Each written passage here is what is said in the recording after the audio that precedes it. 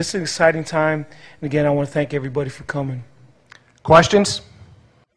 Ricky Dobbs, do you really think you can beat Army again this year? I mean, I'm not getting myself psyched up to, you know, be let down or any kind of way like that. All right, Coach, I know you guys have had a great football season this year, but we all know that Army does the heavy lifting in the war on terror. And I think it's important for us not to forget that. Go Army! Beat Navy!